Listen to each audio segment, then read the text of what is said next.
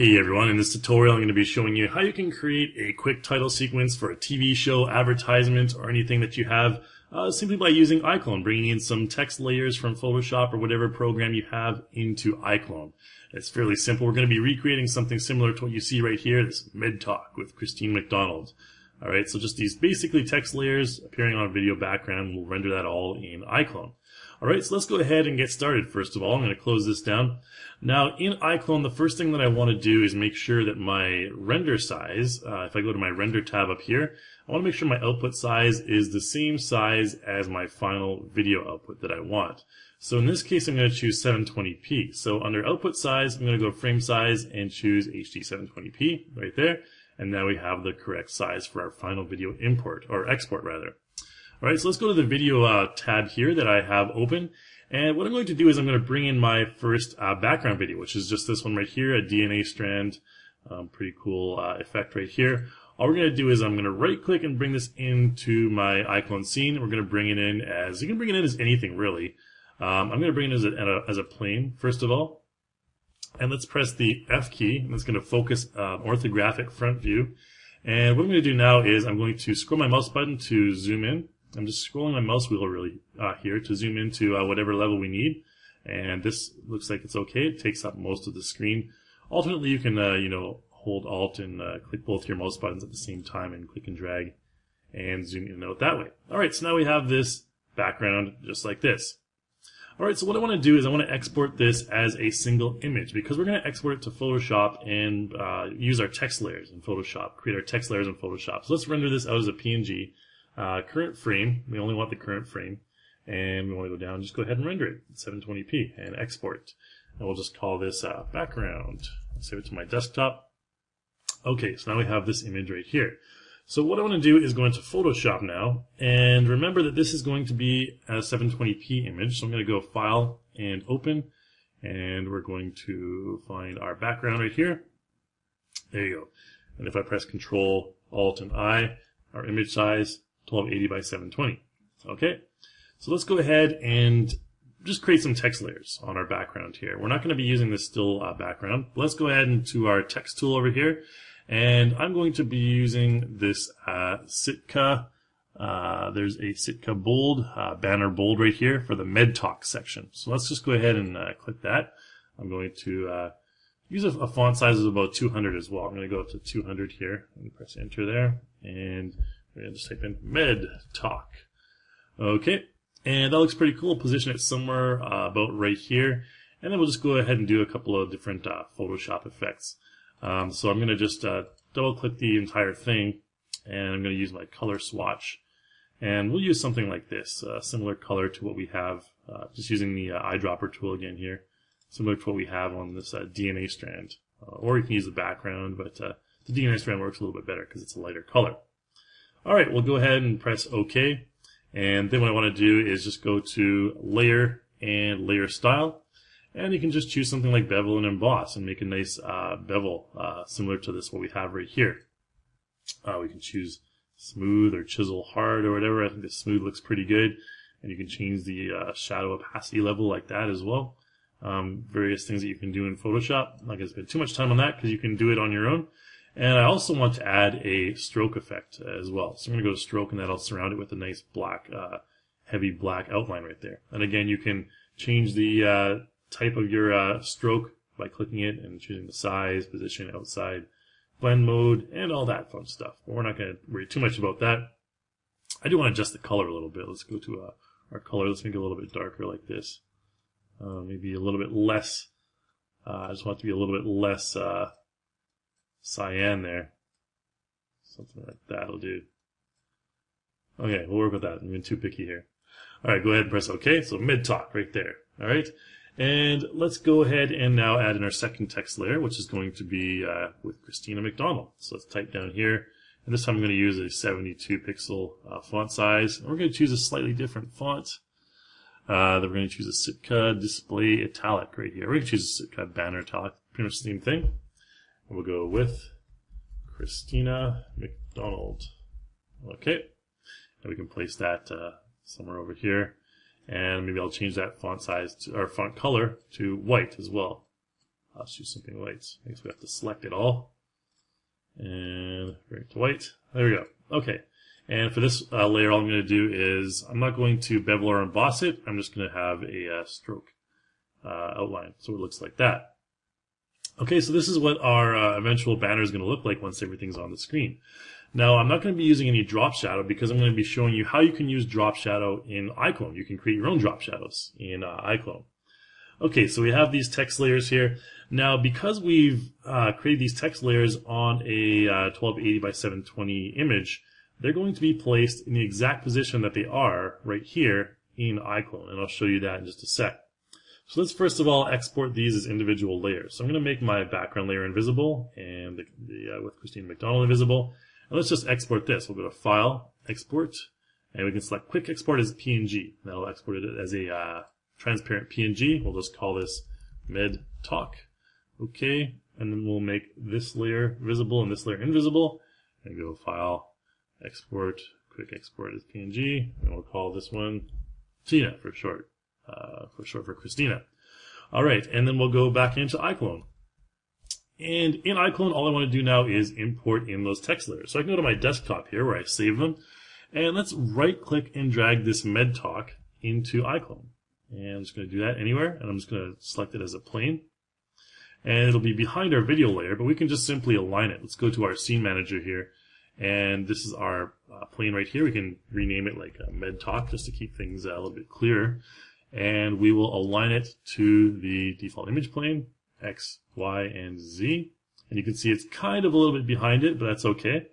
Let's just press OK right now. And if I press the W hotkey, it brings up our movement gizmo. Now, I'm going to create a camera so that we can stay at this position uh, all the time. I'm going to create a camera here. And then I can go to my preview camera and we can see this in like a 3D view. So you can see right here, it's kind of in the in the mesh of the uh, video texture uh, in the background there. And if we select MedTalk, you can see that we have a green arrow that'll bring it forward and back. Now the green arrow represents the y-axis. So uh, R is X, green is Y, and Z is blue. So if I select that layer like I have selected right now, go to my camera view, and then go to my modify tab, what I can do is I can simply on the y-axis, I can select, uh, I can move it forward. So I can move it like this, 499, 498, like this. And I can just choose something like maybe 490. And you can see we have that drop shadow in the background that creates automatically. We can do uh, 495 if want that to be smaller. I think maybe a happy medium 492 might be uh, good.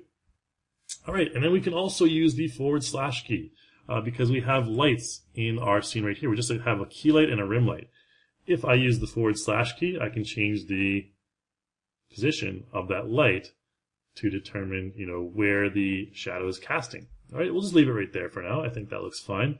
And then let's bring in the, uh, with Christina McDonald. So let's do the same thing. Uh, right click and drag this Tina into our iClone project. Import as a plane.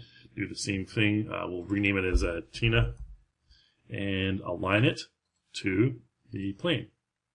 X, Y, and Z, and this one seems like it's positioned correctly. Okay, we can do like something like 495 just in case, and get a little bit of a drop shadow, maybe uh, 498. We don't want too much of a drop shadow on that one. Okay, I think that's okay. We don't we don't really want to have a drop shadow on this uh, text right here. Now what we're going to do is the text animation. So this is the fun part where we get to animate the text. So we're in our camera view. Let's change to our preview camera. Okay, and the first thing I want to do is have the MedTalk text layer appear from behind the camera. So let's select that layer and let's move it back on the y-axis here. Let's move it to behind the camera right here. And then we'll uh, play back for a little bit and probably at this frame, about frame 100, we want to kind of zoom in and appear on our video screen. So then we can just position it back where we had it before. I think it was something like 498 or maybe 495, something like that. Check our camera view just to make sure. Okay, we still have the uh, drop shadow right there.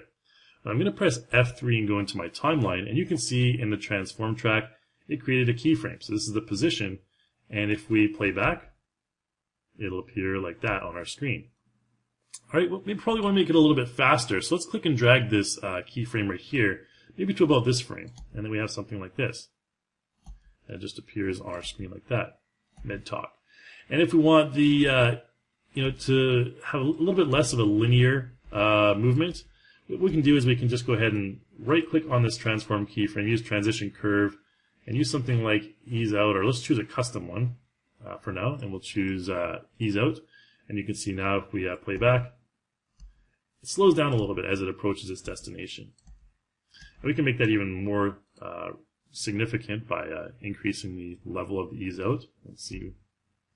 You go. See, it zooms in really fast and then kind of slows as it approaches. Um, but I think we'll just kind of leave it as something a little bit more reasonable, about three quarters of the way there. And we'll work with that. Okay, so now what we have is this Med Talk with Christina McDonald. You can just hear the narrator saying right now, or the announcer. Uh, okay, so what we're going to do is the uh, with the Christina McDonald layer, I'm going to make that invisible at the beginning. So let's go ahead with uh, select that Tina layer and go to our materials over here, and we're going to basically just take the opacity, which is right here, all the way down to zero. Okay, so now it's invisible. And what I'm going to do actually before I do that is I'm going to increase the opacity. I'm going to add a glow channel in because we want this to glow later on. So I'm going to go to my glow channel, double click that, just add a glow map, nice white glow map like that. And you can see that's what we're going to have at the extent of our glowing. But for now, we're going to take it down to zero. And we're also going to take our opacity down to zero. All right, and then we'll go ahead and play back. So med talk. And then probably here at about frame 175, we want to have with Christina McDonald appear on the screen. So what we can do in this case is with Tina selected, um, I can go ahead and choose my material uh, track, open that material track, and I'm going to just click on that uh, frame 175 there, and I'm going to change my opacity to 1, and that'll create a keyframe in the material track right there. And if we open those tracks, you can see that uh, it's in the material settings track right here. You can also just double click there if we want. Uh, I'm going to go to the frame before that because you can see, even with an opacity of 1, you can see that it shows up a little bit on the screen. So we need to make sure that the frame before that, we still have opacity 0. Okay, so from the beginning until this point, we're going to have opacity 0, and then probably up until frame 210, we'll have our max opacity right here.